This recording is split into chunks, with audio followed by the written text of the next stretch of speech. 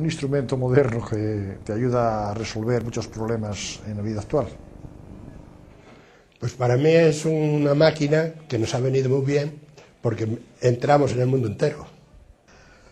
Bueno, para mí es un aparato muy útil porque me ha servido para adquirir conocimientos y, a- y ampliar, vaya. Aparte de que me gusta mucho, vaya, el ordenador. Sí. Bueno, yo- es una herramienta de, trabajo para nosotros eh, formidable, que nos, vamos, nos está ayudando en todo y que podemos hacer muchas cosas con ella y que estamos encantados, que es nuestra vida. Ahora, a, nuestra edad, yo desde que me retiré, pues si no fuera el ordenador, no sé qué sería, porque yo de bares no soy y otra cosa no tengo para hacer y esto pues me encanta. Oh, bueno, sí, ya me entró a mí. Eso nos estropea el ordenador y nos sale caro, porque después tienes que ir a, a que te lo ponga, que te lo quiten, formatearlo y A eso sale, nos sale caro. desintoxicártelo, sí. Un virus. Uy, eso lo tengo Uy, miedo eso nos tenemos miedo. Porque es que sí, sí le tienes miedo, ¿eh? Yo voy, estoy empezando, tengo, tengo en casa ya un ordenador y me preocupa eso porque digo, oye, pues no sé cómo va a funcionar, si va a haber avería. Dicen, hablan mal de los virus. Bueno, poco a poco va la cosa. Eso entiende más Rodolfo de... No, yo, lo, yo los temo. En, en el otro ordenador que tenemos ahí en la Junta de Gobierno, yo a ese no le quiero meter el Internet, porque si quiero algo de Internet lo hago en, el, en la sala de ordenadores, que lo borra luego todo, y en el otro no lo meto, no. Los virus sí los conocemos, pero no sabemos lo que es. Los virus los conocemos por desgracia, sí. Que ahora- son los, los que te extorsionan todo el sistema del, del ordenador. Tuve que cambiar la, la placa base y todo, me desarmó todo. Me cogió mal porque me cogió con el antivirus caducado y la armé. Pues está muy bien porque te comunicas con, con los hijos incluso y puedes hacerlo con gente desde lejos. No lo hago porque todavía no estoy muy experta. Pero sí, sí, me gusta, sí, sí. Eh, Se te pones adjunta, la dirección y luego vas a buscar una carpeta donde tienes, donde tienes lo que quieras mandar. Entonces adjunta la carpeta al correo. Y puedes escribir en lo que quieras y, lo puedes también, y luego acompañando la, la presentación o lo que sea. Pues el correo electrónico, para mí, es una cosa muy avanzada, que ya no tienes prácticamente es que escribir, ir a echar la carta y demás, y te comunicas, pues, con mucha gente. Yo no tengo así hijos fuera, pero los que tengan hijos, eso es una maravilla para ellos. Lo que más utilizo ahora mismo es el correo y lo que más me gusta. Yo lo utilizo muchísimo porque me carteo con gente de, de los cinco continentes. Tengo el hobby de la numismática. Intercambio listas y bueno. Porque yo cuando salgo de viaje, yo me las ingenio para buscar por ahí ordenadores públicos, para mirar el correo y demás.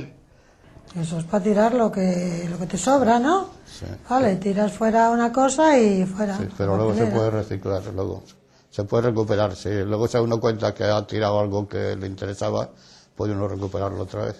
Bueno, pues es el teléfono móvil, lo que sabemos todos, que es una otra herramienta maravillosa, que donde quiera que te encuentres, eh, te- vas en el coche y te pasó cualquier cosa, tú te llamas por teléfono, te vienen a buscar, o mm, vas por ahí por de viaje, te comunicas con un familiar, si tienes a alguien malo, se pone malo o cualquier cosa, o sea, esas cosas Sí, todas, que en todo momento estás en en contacto con, contacto con la gente. con la familia o con O quien sea, sea. que es, eh, para mí también es una cosa buena, sí. No, hoy ya indispensable, ya creo, ¿eh? Yo solamente lo utilizo para llamadas telefónicas. No mando ni mensajes. si los recibo, los leo, nada más. Pero sé que hay, que hay móviles que hacen mucho, que incluso se puede ver un partido, se puede, se pueden hacer muchas cosas con él, con el móvil. Sí, sí, la ventaja de la fotografía en los móviles también está muy bien, ¿eh? Eso me he hecho yo de bajar música de MP3. ¿Sabes qué es un MP3, no? Mm, Bueno, no, Son no canciones que bajas y, y ven en el formato MP3, que viene comprimido. Sí, lo que escuchabas este día, ¿no? Sí, sí. Estabas escuchando este día música y estaba muy bien. Bueno, Iremos poco a poco entrando en el MP3 este. Bueno, esos son los discos de, de la Eh, música. la gente, sí, de gente moderna, que saca muchas cosas con MP3, oye, pero Yo pa- yo paso de para los PowerPoint no me valen, tengo que meterle BAD. Entonces lo cambio a algunos. Bueno, yo el foro no, no suelo entrar. Tampoco yo. Entro cuando, por ejemplo, me gusta hacer los GIFs. Entonces, cuando no encuentro, no lo sé hacer muy bien, entro en un foro que te explican cómo funcionan los GIFs. Entonces sí, pero yo por foro no, no suelo entrar. Yo tampoco, el foro paso del... Bueno, definir un foro será un conjunto de personas que intercambian opiniones y conocimientos, vaya, entre ellos. Y yo más o menos así, yo iba al de mi pueblo no entiendo que, que es eso. y me encuentro un foro, por ejemplo, de mi pueblo, una persona que conozco, pues cojo y contesto a, a lo que él dice, si lo conozco. Sí, es algo que en el que se debate cualquier cosa y, y se pregunta y se consulta a ver si obtiene algo de ayuda uno o puede proporcionarla. Y eso es, en esencia. Que los blogs son, digamos, páginas comunes en las que puedes entrar, incluso opinar, ¿no? Cosas de estas. Yo lo oigo nombrar mucho, pero supongo que es una cosa como si fuese un reportaje de fotografías con, con leyenda y tal, explicando algo de, de lo que pone. Eso es lo que yo creo que es. Ya no te puedes comunicar con gente casi directamente. Claro, una relación en personas que no conoces, pero no te puedes fiar de los chats. No, no. te puedes fiar de una persona delante de ti menos de los chats. El chat y el foro no viene a ser parecido. Pues sí, pues eso, eso es lo de los mensajes y esto todo, chatear con, con otras personas que te contestan, que tú les mandas un mensaje, que digo yo que será algo esto así, ¿no? Porque estoy un poquitín perdida, ¿eh? Pero quiero seguir porque me enganchó mucho la informática, ¿eh? Sí, sí, de verdad.